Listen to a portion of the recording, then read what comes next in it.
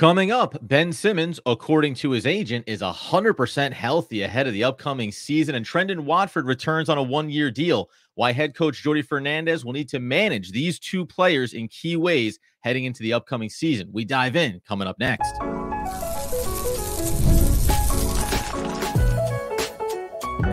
You are Locked On Nets, your daily Brooklyn Nets podcast, part of the Locked On Podcast Network, your team every day.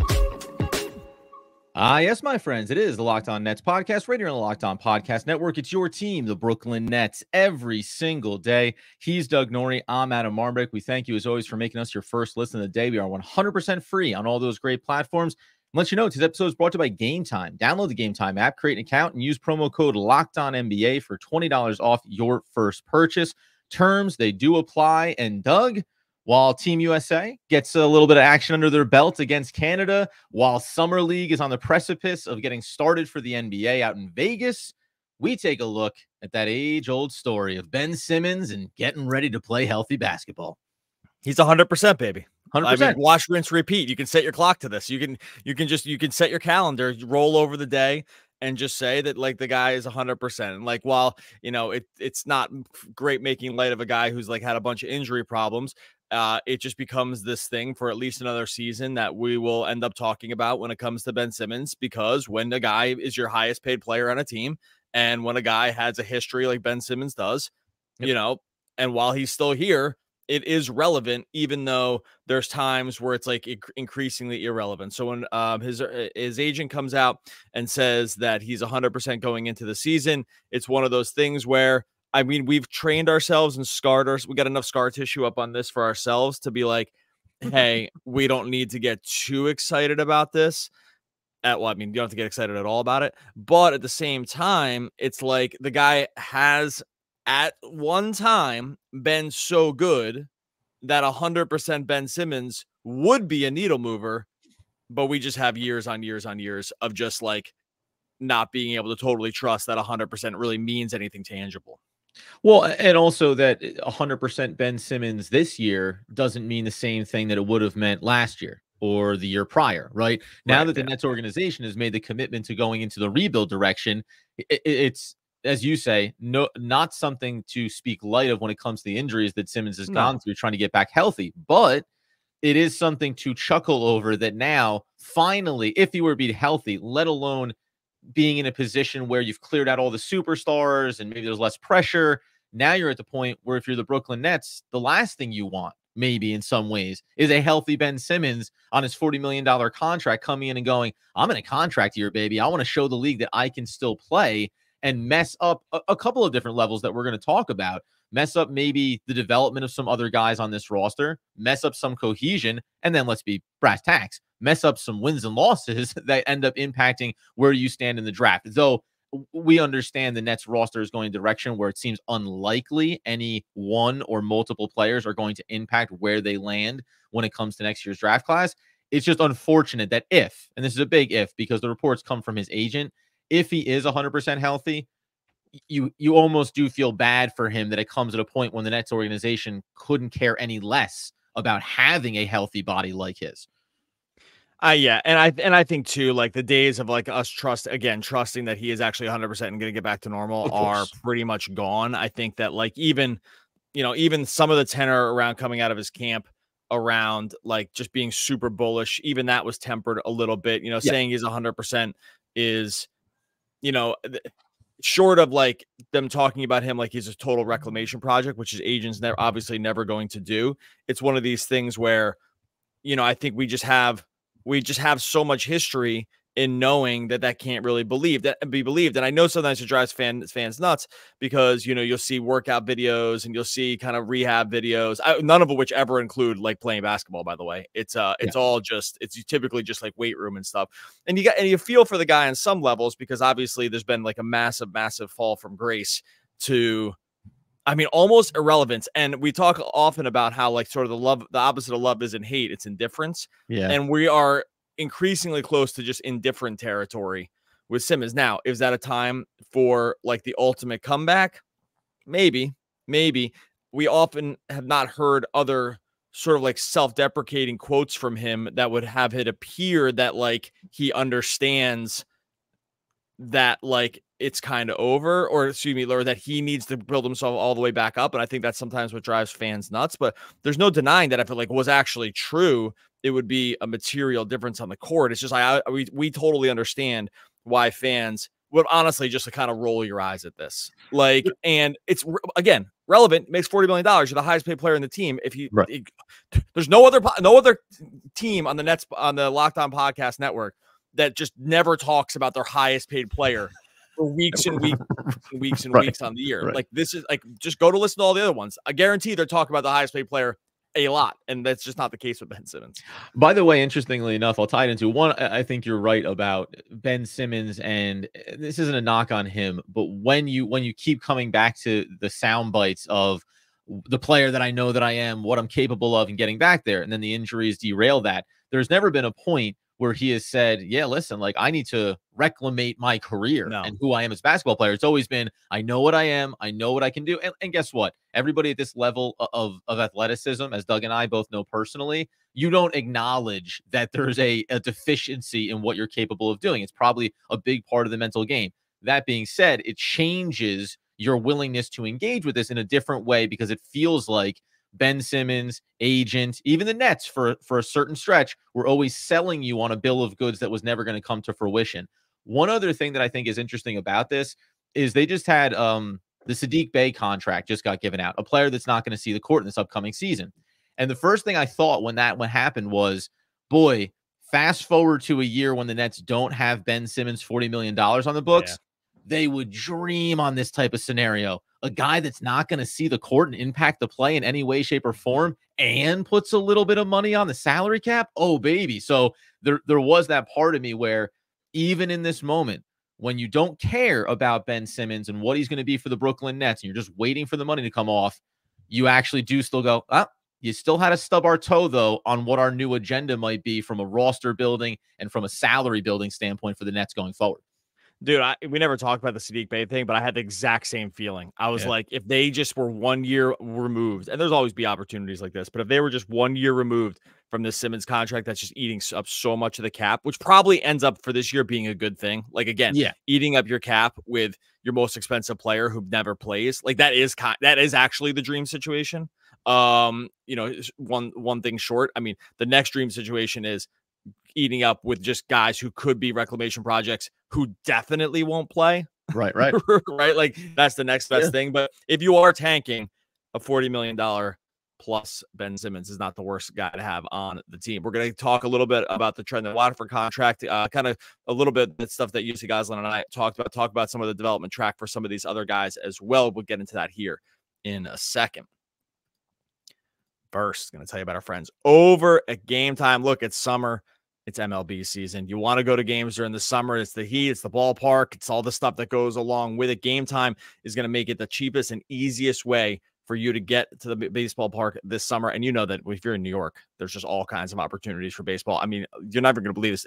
There's Washington Nationals at Mets tickets starting at $4 over at game time, getting a little more expensive if you want to go Mets Yankees Subway Series uh, a little bit later in July. That's going to start at $45. Still an incredible deal. Just some of what you're going to get over there on Game Time. Look, Game Time makes this so easy, not just for sports either. I mean, theater, comedy, whatever, uh, concert, whatever you're going to go to, Game Time's got you covered. They got last minute deals, can save you up to 60% off. They got flash deals, zone deals, they got all in pricing, got seat views, so you know exactly what you're going to see when you sit down at the ballpark or wherever else. Get started on Game Time by downloading the Game Time app. Create an account. Use the code Locked On NBA for twenty dollars off your first purchase. Terms apply. Again, create an, uh, an account and redeem the code Locked On NBA on the Game Time app for twenty dollars off. Download Game Time today. Last minute tickets, lowest prices guaranteed. All right, so as we continue today's Locked On Nets episode, we ask you the question Are you watching Fox Sports on ESPN or on your TV all day? And if you feel like you have to turn down the volume with all that shouting, why don't you make the switch over to Locked On Sports today? It's a free 24 7 sports streaming channel program for you every day that brings you the biggest stories without all the screaming. Locked On Sports today brings you the can't miss analysis, opinions, and news, streaming 24 7 on YouTube and on the free Amazon Fire TV channels app, part of the Locked On Podcast Network. And when you know it, it's your team and it's every day. Something else that's every day is news about players coming back to Brooklyn. Trendon Watford. This was the one player who could have gone to market, maybe could have seen someone make an offer that the Nets would have to match. Instead, he comes back on the $2.7 million qualifying offer from Brooklyn. Trendon Watford will play with the Nets for the upcoming season. And in a perfect world, I mean, I want to talk about it from a roster standpoint, but I will say the Nets took a chance on a whole bunch of players a year ago. Trendon Watford was one that hit. Now, this is the opportunity really for Watford, as we heard other players, even like now no longer rookie by his standards, Noah Clowney say, This is my opportunity. Trendon Watford is going to get big minutes opportunity here going forward. That should set him up in theory for maybe the first big payday of his career a year from now. Yeah, again, Yossi Gozlan and I talked a little bit about this yesterday, but um, he was he admitted that just you know in terms of like just knowing Watford's game, it wasn't going to be exactly the same. Uh, but you know, just kind of just got a little bit more just into the salary structure and sort of like the options going forward and like sort of what could happen after this season. I think we kind of saw this coming, although we got you know when we first said that they were going to resign Watford, we got some like weird pushback from some people that were I'm not going to say who, but like that were tied into the situation that said he definitely wouldn't be back. And I always, I, yeah. that was always a head scratcher to me uh, about that. So Victor, especially when that we felt like it was a no brainer, right? Sorry, not to like we felt it was the no brainer. We called it a no brainer. Back, yeah. we called it a no brainer. Then multiple yeah. people were like, "No, he's not going to come back." I was like, "What? I don't know. This, like, this doesn't make sense." Check our brains. Um, yeah, look, look, pat your, raise your hand, turn around, pat yourself on the back, buddy. We, we did it. Um, so with Watford, though, you know, beyond just the contract piece, it does very much seem like there should be like a huge role for him this year. I, the Nets, as the, as the roster currently stands, let's assume Cam J and DFS make, make it through, uh, make it through the summer here, actually still on the roster. You know, TBD on that. But this Nets team, I mean, they are so devoid of guys who can really handle the ball at all that, yeah. and it's not like Watford, some like you know traditional point guard or anything. But we saw Point Watford at times last season, especially late. He's he he's malleable just enough in that not really good not great at anything but probably not bad in any one particular area except for maybe just like straight line speed mm-hmm. the I, I just I actually feel like he could be like the Nets sixth or seventh man. Let's say Simmons just is, can't really play. Like he I think he's like sixth or seventh guy on this on this roster as a current stands just because he can do multiple things. Yeah, like they have very they have almost nothing in, in the way of guards right now. They have Cam Thomas Schroeder and Shake Milton.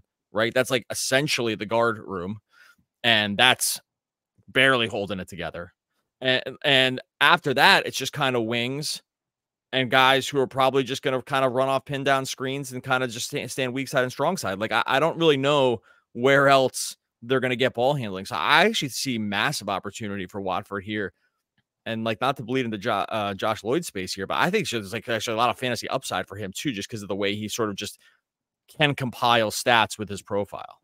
And it's funny by the end of last season, I agree with you. Obviously, in terms of the the ball handling void that the Nets roster still has, even transitioning into this new era.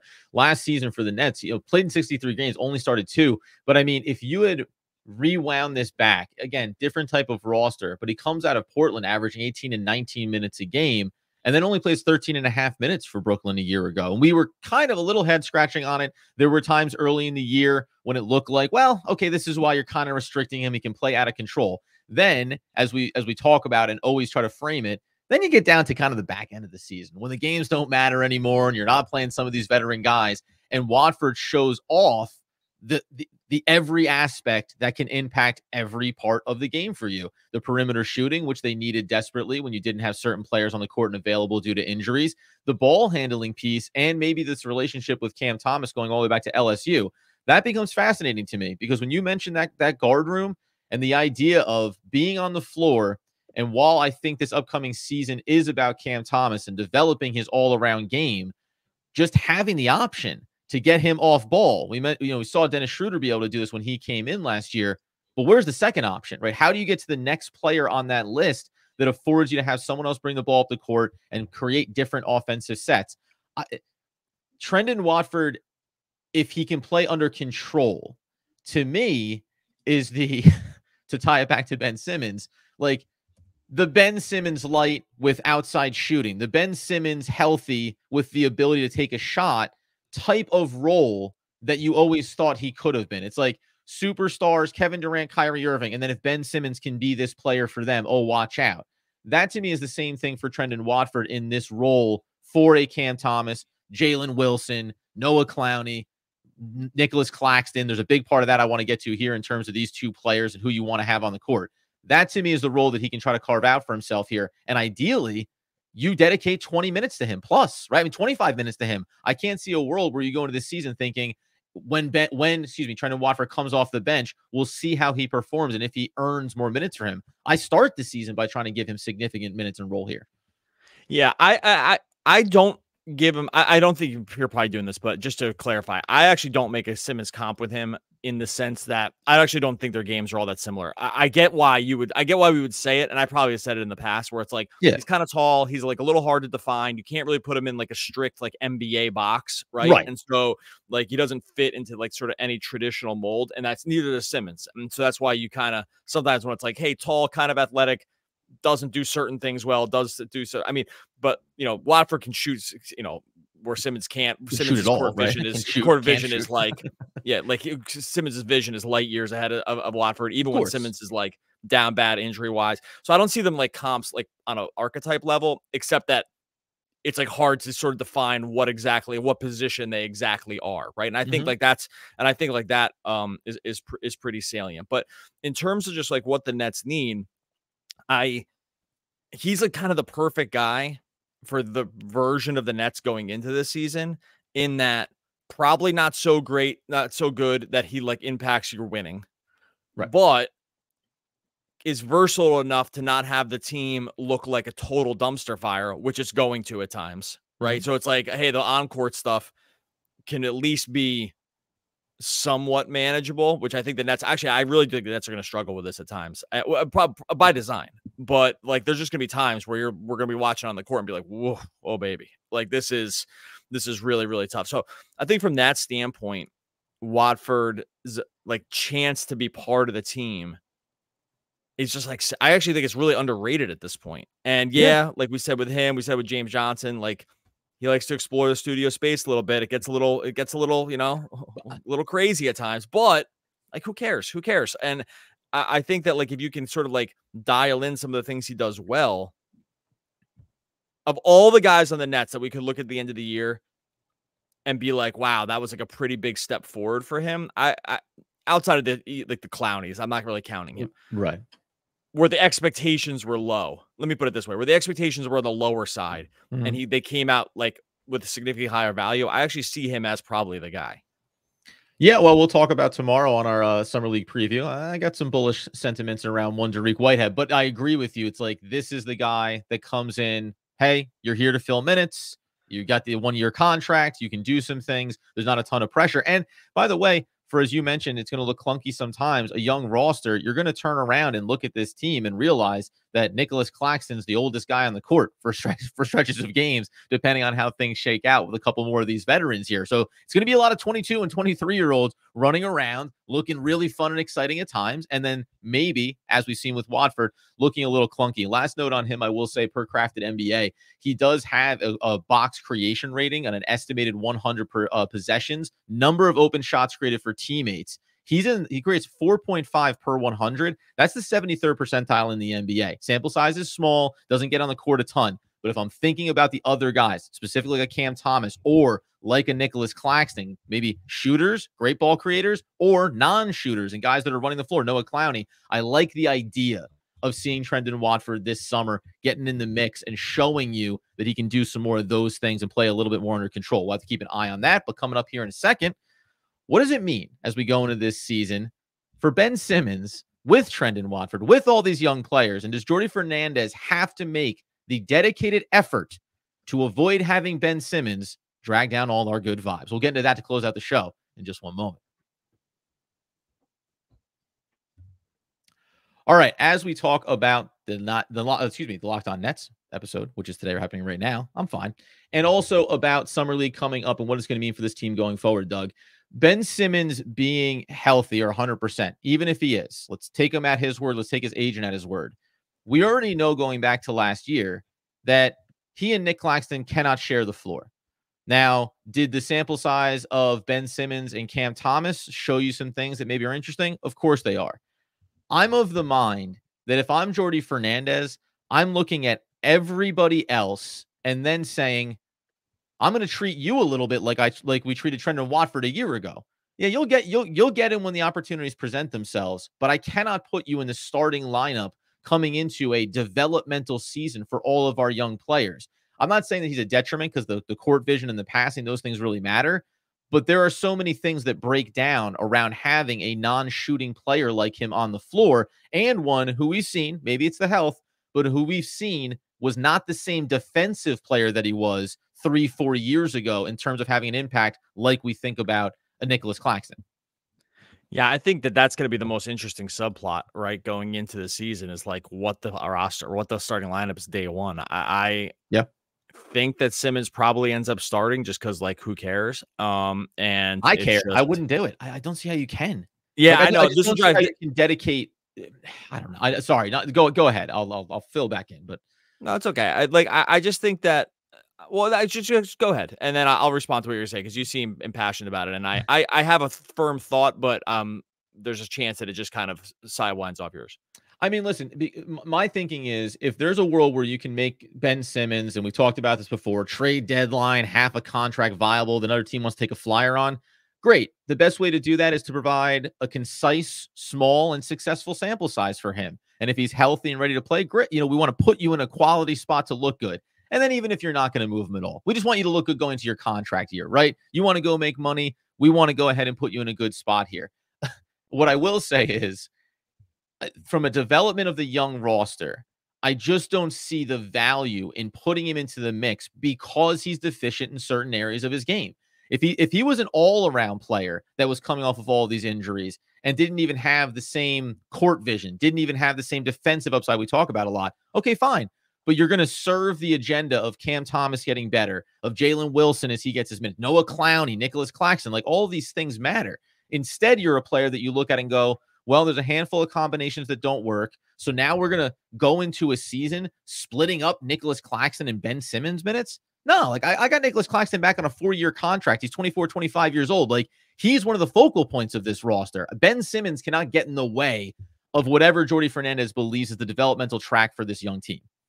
Yeah, it's always funny to me too, where like uh, fans are often quick to sort of ring in with almost no information on this, by the way um, yeah. about like how other people on the team and stuff feel about him. Now, I can mm. probably make guesses, yeah. but I am not positive. And I always go back to like some things that were said a few years ago when they were like, I've mentioned this many times, but they were asking players like, you know, if you wanted to plan, I think it was like a party or something, a night out. Like, who would you call him? Every single like the guy with all the money.